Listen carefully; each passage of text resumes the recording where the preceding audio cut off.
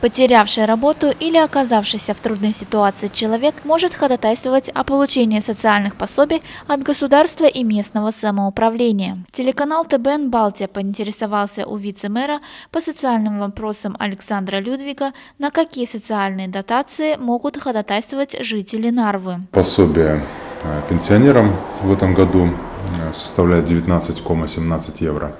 Э, будет выплачено. У нас э, по данным социального департамента 22 э, 500 примерно человек, пенсионеров, которые имеют право на это ходатайство. И сумма, которая предусмотрена бюджетом на эти цели, 419,5 тысяч евро которое будет э, выплачено пенсионерам в качестве дополнительного социального пособия. Э, кризисное пособие у нас, э, оно как и было, так и есть. Это такое текущее пособие. Но люди обращаются, довольно интенсивно обращаются. И, в принципе, проблемы разные у людей.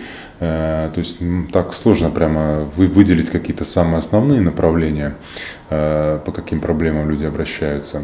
А, ну, как правило, все начинается с того, что у человека просто нет денег. То есть человек говорит, что его дохода недостаточно для того, чтобы там либо, либо одежду купить, либо там пропитание какое-то себе обеспечить. Также вице-мэр Александр Людвиг рассказал о пособии по бедности.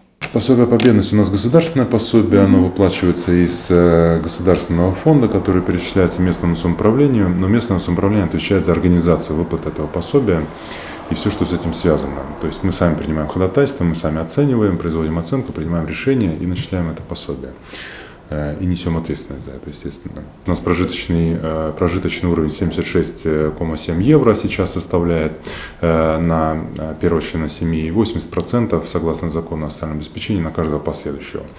Вот. В общем-то, здесь, если вот нужна информация, то я обычно говорю таким образом, что если человек чувствует, что его доходов не хватает для того, чтобы обеспечить себя э, минимальной едой и заплатить за свое э, проживание, Э, если он не обращался еще ранее в социальный департамент, и если ему не говорили, что вот, к сожалению, ваш доход превышает прожиточный уровень, и вы не имеете права на пособие, то обязательно надо обратиться в социальный департамент э, в любой рабочий день э, для того, чтобы получить консультацию. Там уже социальный работник на первичной консультации, на третьем этаже это происходит у нас в социальном департаменте на Линда 4, они уже проведут расчет непосредственно в отношении конкретной семьи и скажут уже уже с большой долей вероятности, э, имеет этот человек э, право на это пособие или нет.